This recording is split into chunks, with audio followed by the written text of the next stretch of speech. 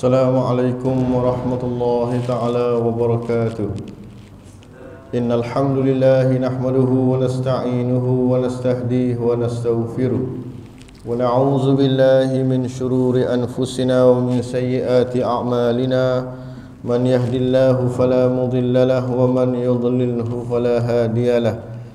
والصلاة والسلام على رسول الله وعلى آله وأصحابه ومن دعا بدعوته واستنى بسنته إلى يوم الدين سبحانك لا علم لنا إلا ما علمتنا إنك أنت العليم الحكيم رب اشرح لي صدري ويسر لي أمري واحلل عقدة من لساني يفقه قولي اللهم فقهنا في الدين وعلمنا التأويل واهدنا إلى صراطك المستقيم اللهم اجعل جمعنا هذا جمعا مرهوما وتفرقنا من بعده تفرقا معصوما ولا تجعل اللهم فينا ولا من يتبعنا شقيا ولا مطرودا ولا محروما.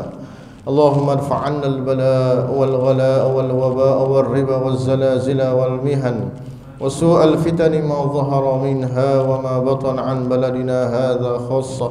وأن بلدان المسلمين عامة كافة يا رب العالمين والحمد لله رب العالمين أما بعد dimuliakan al-fadil tuan-tuan haji puan hajjah sidang hadirin sidang jemaah yang dimuliakan Allah Subhanahu wa taala sekalian sama-sama kita panjatkan kesyukuran kehadrat Allah Subhanahu wa taala pada malam yang mulia ini malam insya-Allah pada malam ini malam Rejab kita sudah memasuki bulan Rejab seterusnya Syaban dan seterusnya bulan yang dinantikan oleh kaum oleh orang-orang yang bertakwa itu bulan Ramadan al-Mubarak.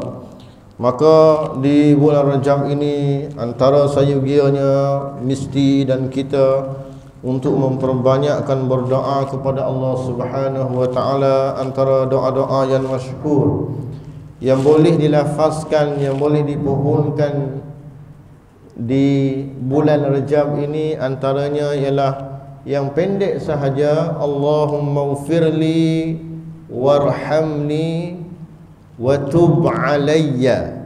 Ya Allah ampuni dosaku warhamni dan berilah rahmat kasih sayang kasihinilah daku wa tub alayya. Dan terimalah taubat ke atasku ini. Dalam lafaz doa yang ramai Allahumma ufir lana warhamna wa tub alayna. Dalam lafaz apabila kita nak berdoa keseorangan individu keseorangan diri Allahumma ufirli warhamni wa tub alayya. Ha, mudah-mudahan itulah rangkapan doa yang mudah untuk kita ingat dan kita lafazkan di mana-mana sahaja sepanjang bulan Rejab malam-malam di bulan Rejab ini di samping amalan-amalan lain untuk kita mempertingkatkan sedaya yang mungkin. Mudah-mudahan kita diberi rahmat keampunan oleh Allah Subhanahu wa taala. Seterusnya pada minggu-minggu yang lalu kita berada pada adab yang ke-10 di sini ditulis sebagai adab-adab tidur iaitu pada muka surat 69. Qala al-musannif rahimahullahu taala wa nafa'na bi ulumihi fid darain amin. Pengarang kita Al-Imam Al-Ghazali mengatakan sebelum rangkap yang kedua itu dia kata wa'lam anna al-laila wan nahara arba'u wa ishruna sa'atan fala yakun nawmuka bil-laili wan nahar akthara min thamani sa'atin fayakfika in 'ishta mathalan 60 sanatan an tudayya minha 20 sanatan wa huwa thuluth 'umrik dan ketahuilah bahawasanya siang dan malam itu hanya 24 jam sahaja Maka janganlah engkau tidur pada siang dan atau malam. Lebih dari 8 jam. Kerana jikalau engkau berumur 60 tahun Maka memadailah engkau menyia-nyiakan Maknanya mensia-siakan. Daripada umur itu sebanyak 20 tahun iaitu sepertiga dari umurmu. Ringkasnya dari sudut kesihatan sendiri para doktor. Paling kurang kita semua maklum mesti kita rehat. Pada malam hari yang Allah Subhanahu wa taala jadikan malam ini yang kita sebut selalu dalam surah An-Naba wa ja'alna al-laila libasa. Allah Subhanahu wa taala menjadikan malam itu libas pakaian dengan maksud satu metafora ataupun simbolan eh, untuk mengatakan bahawa pada malam hari Allah datangkan malam ini untuk manusia berehat. Ha, bukannya kita menjadi umpama burung hatu malamnya dia berjaga malam tapi siang hari dia tidur. Terbalik fitrah walaupun dia tidak sama tidur yang cukup pada malam hari. Meskipun kita tidur tak tidur malam tapi tidur pada siang hari cukup 8 jam kita akan merasakan berbeza dari sudut kecergasan tubuh badan.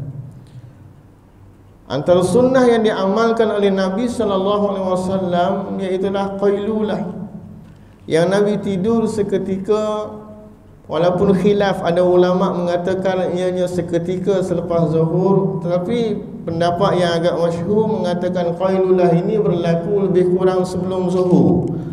Kita ambil satu jam setengah jam barangkali untuk merebahkan belakang ataupun tidur di perbaringan dengan niat badan kita cergas untuk bangkit di malam hari Apatah lagi pada malam hari Allah Subhanahu wa taala gilirkan antara siang. Allah jadikan penghidupan kepada manusia. Bukan hanya manusia, bahkan haiwan, bahkan tumbuhan dan segala makhluk Allah Subhanahu wa taala. Allah gilirkan kepada kita 24 jam sehari. Tidak ada Allah Subhanahu wa taala beri kepada hamba ini 25 jam, tidak ada Allah Subhanahu wa taala beri kepada sang hamba ini 23 jam, kurang 1 jam. Adilnya Allah Subhanahu wa taala. Tetapi nak ceritakan bagaimana manusia sering berada dalam kerugian Sehingga Allah Subhanahu wa taala bersumpah wal asri innal insana lafi khusrin demi masa manusia sesungguhnya manusia berada dalam kerugian. Memang betul kehidupan manusia penuh dengan kerugian tetapi ada accepted. Ada pengecualian yang Allah sebutkan illal ladzina amanu melainkan orang yang beriman. Banyak sekali tuan-tuan tengok Allah sebut sesuatu di hadapan dalam Quran. Kalau kita nak kaji ayat Al-Quran dalam surah-surah Kan? Ketika, ketika, ketika itu Allah subhanahu wa ta'ala menyebut illa. Illa di sini maknanya melainkan. Allah sebut manusia dalam kerugian. Allah menyebut manusia uh, mencari nahas dan binasa semasa hidup di dunia.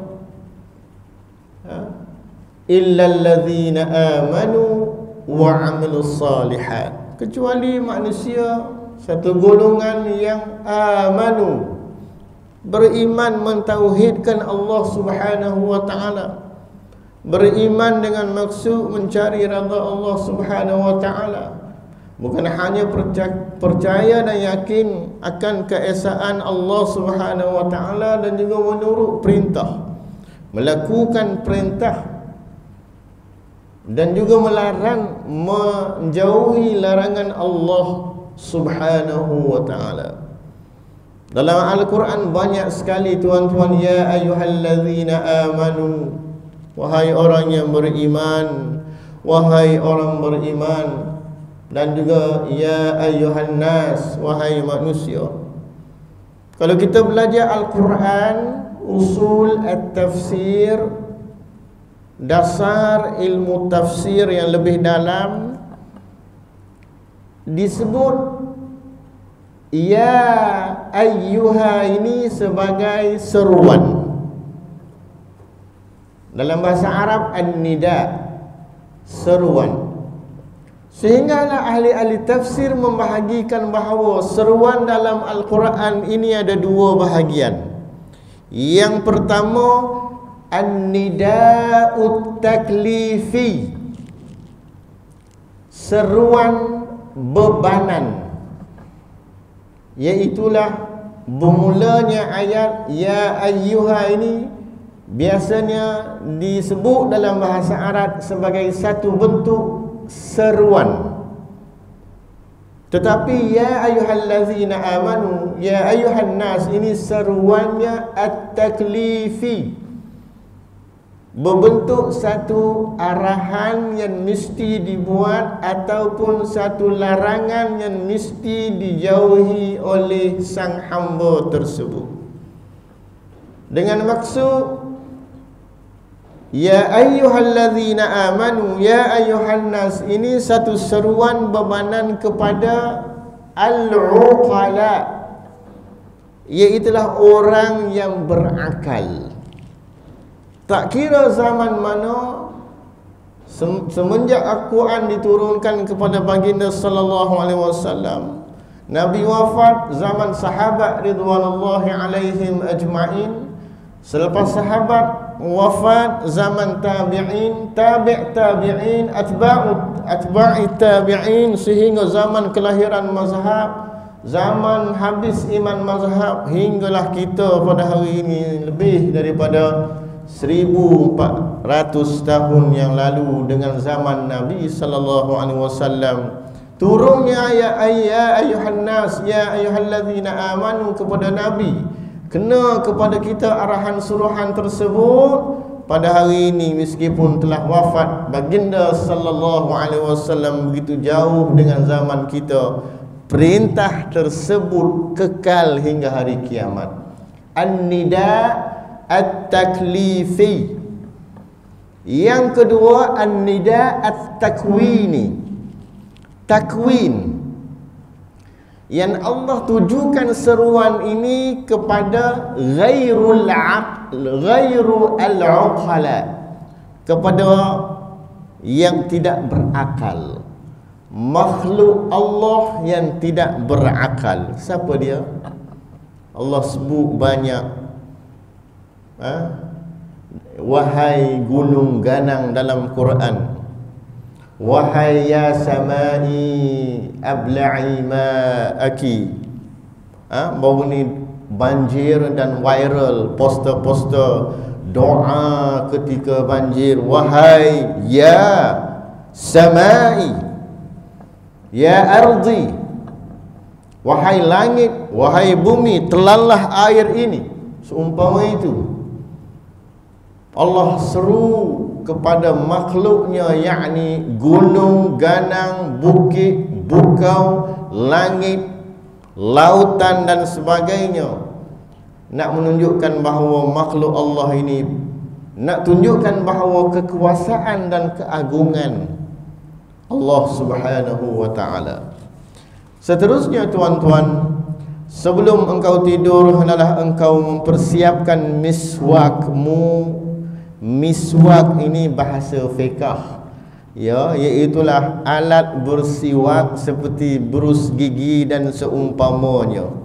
Kalau dalam teks asal barangkali tidak disebut berus gigi tapi dengan terjemahan bahasa Melayu yang lebih moden sebab itu diletakkan uh, dalam kurungan tersebut sebagai berus gigi dan seumpamanya ha? sebab itulah asal lafaznya dalam bahasa Arab wa'idda indal naumi siwakaka wa tahuraka ya? siwak dalam kitab fiqh pun menyebut alat bersiwak ha? hanya menyebut sebagai kayu ud ataupun kayu arak sugi lah ha? yang kita beli di kedai dua ringgit setengah itu kayu arak tersebut ha? tapi pada hari ini ha? dengan kemajuan ha? Bruce gigi yang kita gunakan Colgate, Darlie apa ni Pepsodent dan sebagainya tersebut telah pun mengambil hukum. Meskipun bentuknya lain tetapi dia kembali kepada maqasid tujuan yang sama sebagai satu wasail. Kita bersiwak dengan kayu Arab itu. Ha? dengan kayu sugi itu kita panggil dalam bahasa kita. Untuk apa tujuannya maknanya untuk sampai kepada maqasid. Jadi alat tersebut dipanggil sebagai wasail. Ya wasail. Iaitulah dalam bahasa yang lebih moden dipanggil sebagai medium. Wasail. Lil wasail hukmul maqasid. Kaedah mengatakan uh, wasilah tersebut perantaraan tersebut uh, nak menjuruskan menjustifikasikan sampai kepada objektifnya untuk membersihkan mulut. Walaupun kita guna alat pada zaman moden ini sebagai uh, Iaitulah miswaknya ialah berus gigi. Akhirnya dengan berus gigi yang mahal ke, yang murah ke, yang tiga ringgit ke, yang sepuluh ringgit ke Yang lima belas ringgit ke uh, Ada yang mahal lagi, puluh-puluh. Uh, Dia guna elektrik, letak bateri uh, Tak payah kita apa ni gerakkan tangan kita. Kan? Uh, ada. Ha, puluh-puluh ringgit barangkali ada bateri. Letak sahaja dia akan bergerak. Ha, mengikut apa ni ha, keadaan mulut kita. Akhirnya kesemua itu apa cara sekalipun untuk membersihkan gigi banyak hadis yang warid di antara Nabi sallallahu alaihi wasallam. Sebagaimana yang direkodkan antara salah satunya oleh al-Imam Muslim dalam kitab bersuci dalam sahih Muslim.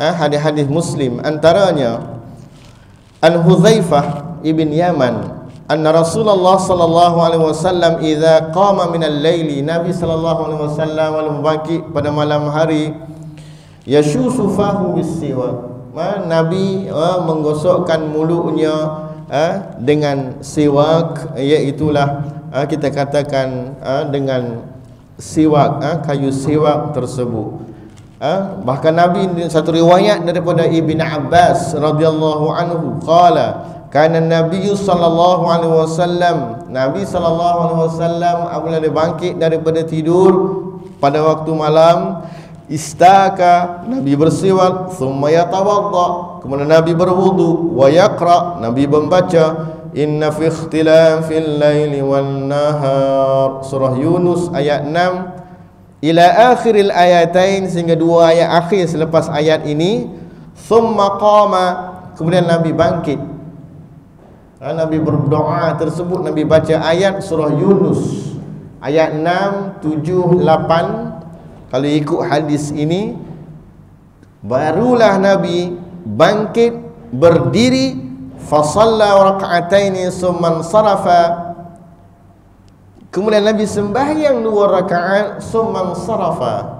Kemudian Nabi berlalu pergi.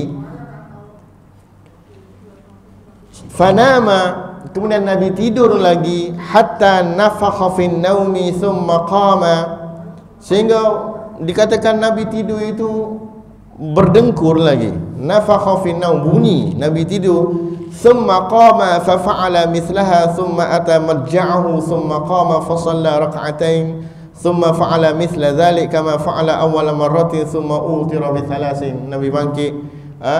Nabi semayang lagi sehinggalah akhir sekali Nabi berwitir dengan tiga witir tersebut dan hendaklah engkau siapkan air untuk engkau bersuci dan berazamlah ketika hendak tidur itu untuk engkau bangun di tengah malam. Ha? Kita nak siap pada hari ini zaman kita barangkali kemudahan rumah kita sendiri, kemudahan air sentiasa ada. Ha? Tidak menjadi masalah. Tetapi yang kedua inilah berazam ketika hendak tidur itu untuk engkau bangun di tengah malam atau sekurang-kurangnya di akhir malam sebelum waktu subuh. Kerana dua rakaat di tengah malam itu merupakan satu pembendaharaan dari perbendaharaan kebaikan. Maka hendaklah engkau memperbanyak pembendaharaanmu untuk menghadapi hari kefakiranmu dan harta benda dunia ini sedikit pun tidak berguna bagimu apabila engkau telah mati. Ini di antara nasihat yang uh, cukup memberi uh, cukup memberi uh, peringatan kepada kita. Uh, kerana di saat kita berada di pembaringan kita mula nak tidur. Segala fikiran kita yang berkaitan dengan dunia sebolehnya kita muhasabah di awal kita bangkit di awal hari uh, pada hari tersebut uh, bukan kita uh, ingat kita pergi mana kita ingat dosa-dosa yang kita lakukan kita muhasabah kembali. Uh, sebab itulah pesanan seorang khalifah. Hasibu anfusakum qabla an tuhasabu wazanu a'malakum qabla an tuzana alaikum kita hisab diri kita sebelum kita dihisab di hadapan Allah Subhanahu wa taala. Apatah lagi hisab kita muhasabah tersebut dengan kita mengingati kematian. Yang hukumnya sunat akthiru min zikri hadhimil ladzat yakni al-maut.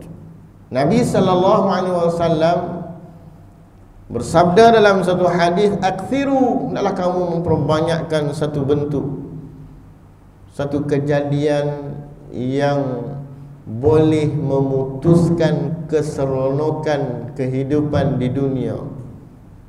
Tidak ada lain melainkan mati.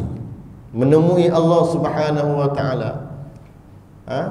Tidak ada lagi kesibukan di dunia.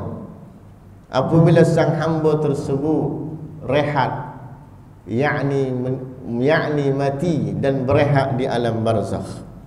Ha? sebab itulah doa yang kita selalu baca Allahumma maj'al Allahumma Allahumma inna nas'aluka mujibati rahmatik bukan yang itu Ya Allah ya Tuhan kami jadikanlah mautarahatan lana min kulli syar.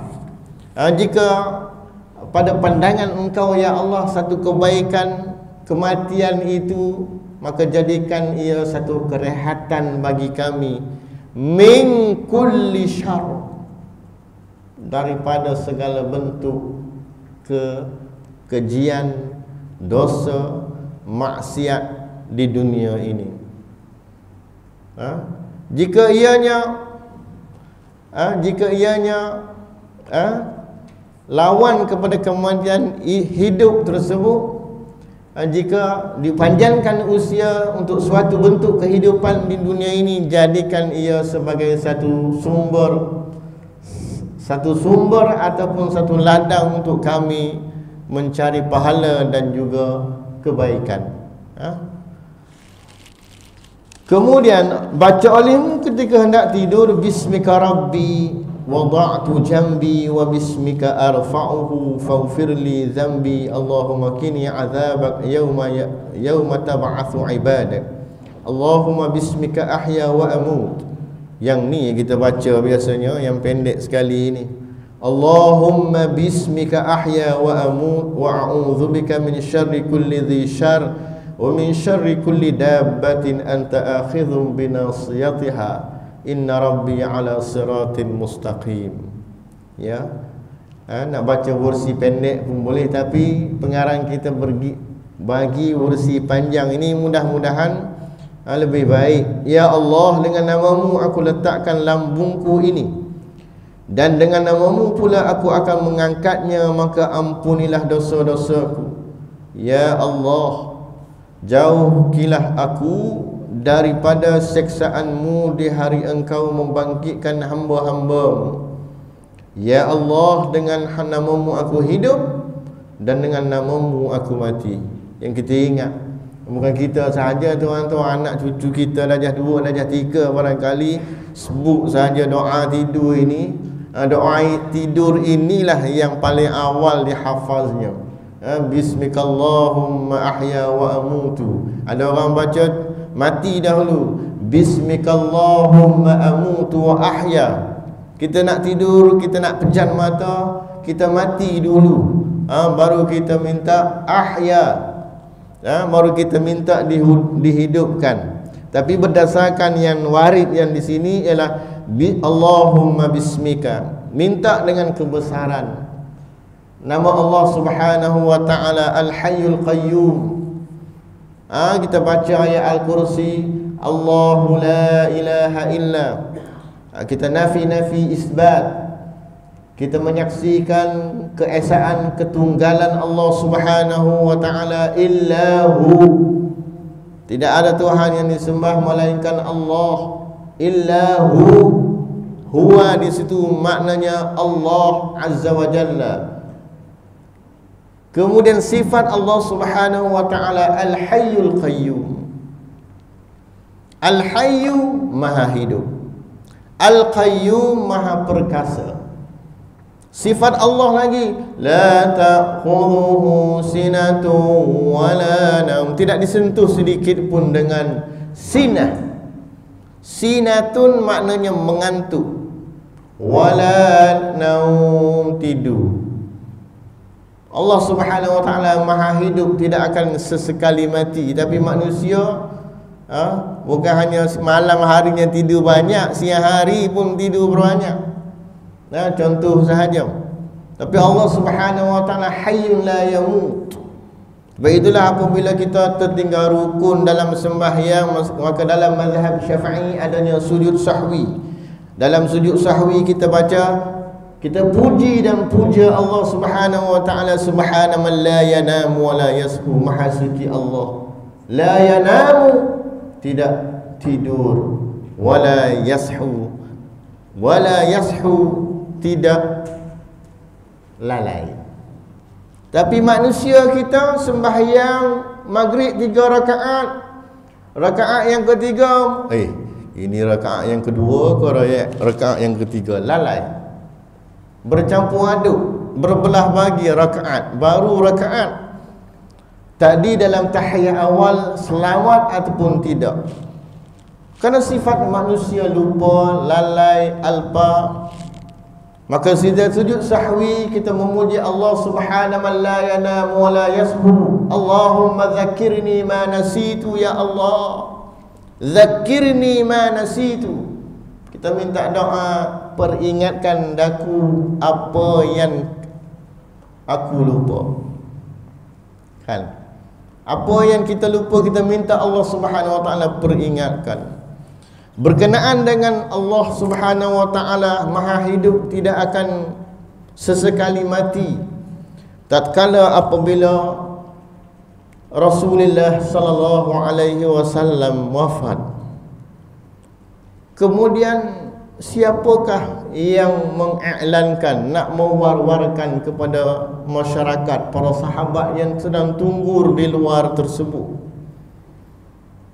Ya. Sehinggalah Umar Dikatakan dalam kitab sejarah sirah Nabi Mengatakan sesiapa yang mengatakan Muhammad itu wafat Maka aku akan pancung kepalanya. Sehinggalah Abu Bakar turun dari jauh Dengan kenderaan lalu masuk melihat dan memeriksa. Benar Rasulullah sallallahu alaihi wasallam telah menghadap Allah Subhanahu wa taala dengan hati yang penuh kehibaan Abu Bakar dak keluar ke rumah dan berhadapan dengan masyarakat para sahabat lain yang sedang menunggu-nunggu untuk dipastikan. Tapi apabila sahaja khutbahnya. Abu Bakar As-Siddiq uh, berucap di khalayak ramai mengiklankan bahawa Rasulullah telah pun pergi menghadap Allah Subhanahu wa taala dengan satu ungkapan wa ma muhammadun illa rasulun qad khalat min qablihi ar-rusul. Afa imma afa imma afa imma khalaqtum dalam surah uh, Ali Imran tersebut wa ma muhammadun illa rasulun qad khalat min qablihi ar-rusul. Tidaklah Muhammad itu melainkan Rasulullah. Ha? yang telah didahului sebelumnya itu para rasul-rasul anbiya salawatullah wa salatuhum alaihim ajmain. Dan selepas itu dikatakan Muhammad itu seorang manusia ha? dan Muhammad itu wafat tetapi Allah Subhanahu wa taala hayyun la yamut Allah tetapi Allah Subhanahu wa taala sahajalah hayyun la yamut yang hidup maha hidup tidak akan sesekali mati nak ceritakan bahawa ha? Nabi sallallahu daripada kalam khutbah Abu Bakar As-Siddiq itu barulah sahabat yang di luar ini yakin dan percaya bahawa Rasul sallallahu alaihi wasallam telah pergi menghadap Allah Subhanahu wa taala dengan Umar yang asalnya yang seolah-olah tidak dapat menerima tidak percaya dengan kewafatan baginda sallallahu alaihi wasallam akhirnya reda dengan ucapan Abu Bakar As-Siddiq tersebut. Ha? Itulah di antara hebatnya siasah dan juga bagaimana ha, kita katakan kepercayaan ha, para sahabat yang lain orang Islam kepada ketokohan yang ada kepada Sayyidina Abu Bakar As-Siddiq radhiyallahu anhu. Ya Allah dengan namamu aku hidup dengan namamu aku mati. Aku berlindung denganmu daripada kejahatan segala yang mempunyai kejahatan dan dari kejahatan segala makhluk yang melata di atas muka bumi ini yang engkau menguasai ubun-ubunnya. Sesungguhnya Tuhanku adalah di atas jalan yang lurus. Boleh lagi kita baca banyak sekali doa. Allahumma antal awwalu falaysa qablaka syai' wa antal akhiru falaysa kaba'daka syai' wa antal zahiru falaysa fawqaka syai' wa antal batinu falaysa dunaka syai' Ya Allah engkaulah yang permulaan maka tidak ada sesuatu sebelumnya tidak ada uh, permulaan. Dan engkaulah yang akhir maka tidak ada sesuatu sesudahnya. Dan engkaulah yang zahir maka tidak ada sesuatu di atasmu. Dan engkaulah yang batin maka tidak ada sesuatu di bawahmu. Allahumma anta khalaqta nafsi wa anta tatawaffaha laka mamatuha wa mahyaha in amattaha faghfir laha wa in ahyaitaha fahfazha bima tahfazu biha ibadakas salihin Allahumma inni as'aluka al-afwa wal afiyah ha? mudah saja tuan-tuan doa ini untuk kita hafaz kita baca kerana sudah ada baris Ya Allah, engkau yang menciptakan diriku, engkau pula yang berkuasa mematikannya. Maka terselarah kepadamu untuk mematikannya atau menghidupkannya. Jikalau engkau mahu mematikannya, maka ampunlah baginya. Dan jika engkau mahu menghidupkannya Maka peliharalah dia seperti engkau memelihara hamba-hambamu yang salih Ya Allah aku berlindung akan engkau Akan kemaafan dan keafiatan. Akhir sekali doa yang terakhir sekali. Allahumma ayqizni fi ahabbis sa'ati ilaik Wasta'amilni bi ahabbil a'mali ilaika Hatta tuqarribuni ilaika zulfa Wa tub'iduni min sakhatika bu'da fa'atini wa astaghfiruk faghfirli wa ad'umuka fastajib li ya Allah bangunkanlah aku pada sebaik-baik masa kepadamu dan pergunakanlah diriku pada sebaik-baik amalan di sisimu sehingga engkau hampirkan aku kepadamu dan engkau jauhkan aku dari kemarahanmu. Ya Allah aku meminta angka engkau maka engkau memberi akan aku. Dan aku meminta ampun akan engkau maka engkau pun mengampuni akan dosa-dosaku dan aku berdoa akan engkau maka engkau perkenankan segala uh, doa boleh pilih yang mana satu tuan-tuan yang kita rasakan. Setelah itu hendaklah engkau baca ayat al-kursi amanar rasul sampai akhir surah al-baqarah la amanar rasul la yukallifullahu nafsan ilu itu surah al-ikhlas al-muawwidhatain ha? ataupun orang Melayu kita tiga kul kita sebut itu ataupun yang ringkas sahaja surah al-mulk. Tabarakalladzi biyadihil mulku wa huwa ala kulli syai'in qadir. Juzuk yang ke-29 surah yang pertama surah al-mulk ha? juzuk yang ke-29. Sebab apa surah al-mulk tuan-tuan tengok terjemahan dia seolah Allah Allah Subhanahu wa taala ungkapkan balik. Allah jadikan manusia ini tidak sia-sia. Ha? Ad, oh, penciptaan manusia sebagai hamba Allah khalifah di muka bumi ini Allah ibtilakan manusia beri ujian kepada manusia untuk mengangkat darjat manusia dan sebagainya. Tuan-tuan tengok tidak berapa panjang surah Al-Mulk ini. Tengok terjemahan dahulu, masya-Allah. Ha? kita baca lima ayat kita baca lima ayat lagi tak mampu baca semua pun baca sikit-sikit pun boleh dan berusahalah supaya engkau tidur dalam keadaan berzikir dalam keadaan suci maka siapa yang mengerjakan yang demikian itu nescaya naik rohnya ke atas arash akan ditulis seperti orang yang sembahyang sampai masa ia bangun dari tidurnya. Wallahu subhanahu wa taala a'lam. Mudah-mudahan kita uh, dapat sedikit manfaat daripada pembacaan malam ini yang paling penting sekali untuk kita sama-sama muhajat mujahadah uh, dalam jiwa kita untuk kita mengamalkan. Apa yang kita tahu sedikit sebanyak sedaya yang mungkin barangkali kita tak nak tidak dapat nak amalkan kesemuanya. Nak tidur ustaz banyak sangat nak baca. Ya barangkali bacaan ini dengan saya ini barangkali 20 minit baru boleh tidur ustaz. Baca yang ringkas ha, sahaja ha, dengan kemampuan yang ada itulah dipanggil sebagai ahabbul ilallah uh, ahabbul a'mal ilallah adwamuha wa in perkara yang paling dicintai oleh Allah Subhanahu wa taala amalan-amalan meskipun sedikit sahaja. Adwamuha wa in tapi setiap malam kita baca doa tiga kul al-mulk. Adanya wuduk lah. Ha, first sekali. Adwamuha kita konsisten istiqamah. Meskipun sedikit saja itulah amalan sebenarnya yang sangat dicintai oleh Allah Subhanahu wa taala. Wallahu subhanahu wa taala a'lam. Wassalamualaikum warahmatullahi wabarakatuh. Bismillahirrahmanirrahim. Alhamdulillahirabbil alamin. Wal aqibatu lil muttaqin wa 'udwana illa 'ala zalimin. Wassalatu wassalamu ala asyrafil anbiya'i wal mursalin. Sayyidina wa maulana Muhammadin wa ala alihi wa sahbihi ajma'in. اللهم انفعنا بما علمتنا وعلمنا ما ينفعنا وزدنا علما وألحقنا بالصالحين ربنا آتنا في الدنيا حسنة وفي الآخرة حسنة وقنا عذاب النار وصلى الله وسلم وبارك على سيدنا محمد وعلى آله وصحبه وبارك وسلم والحمد لله رب العالمين قبل الله منكم